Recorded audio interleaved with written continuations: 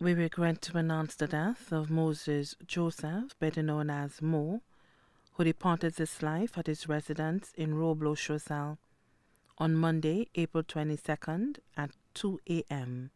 at the age of 82.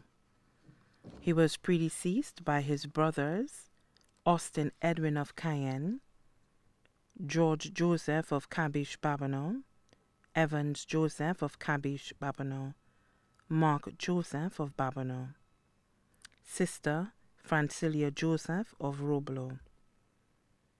Left to mourn two sisters, Agneta Romulus of Roblot Choiseul, Marie Mesmin and family of Mondador Castries, brother Andrew Joseph, better known as Mr. G, and family of Degasson, Grand Riviere, Gros Islet nieces, Joyce Plant and family of Agard Lands, Castries.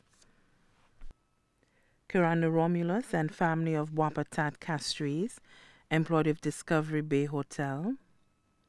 Flavia Romulus and family of Pave Castries, employed of Court St. Lucia Limited. Lyra Pierre and family of Agard Mondador. Gislina Burns and family of Cap Estate Gros Islet, employed with Unicomer St. Lucia Limited. Agnes Romulus and family of Sulphur Springs, self-employed. Julia Romulus of the Morne, employed with NSDC. Juliana Romulus, Felix and family of Bonterre, Gros Islet, employed with Unicomer St. Lucia Limited. Majura Romulus of the Morne, employed with the. Lucia Bureau Standards. Luan Romulus of Pave Road, Castries. Zane Romulus of Pave Road, Castries. Sisters-in-law, Marie Joseph and family of Cabiche Babonneau. Yolina Joseph, better known as Tai, and family of Cabiche Babonneau. Nephews, Cauldron Romulus and family of Pave, Castries, taxi driver with courtesy taxi. Gabriel Romulus and family of Mongouge Choiseul, self-employed. John Romulus and family of Rock Hall Castries, employed with Arthur Community College.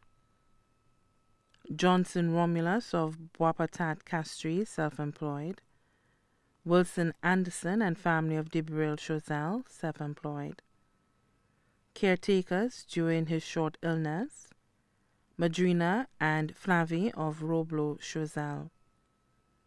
Also left to mourn are the communities of Roblot, Dibril, Montet, and Lamas, other relatives and friends too numerous to mention. The funeral service for Moses Joseph, better known as Mo, will be held on Thursday, 2nd May 2019 at Our Lady of Lourdes Roman Catholic Church, Choiseul at 3.30 p.m. Then the body will be interred at the Choiseul Cemetery. The body now lies at Crick's Funeral Home in River Doré. May his soul rest in eternal peace.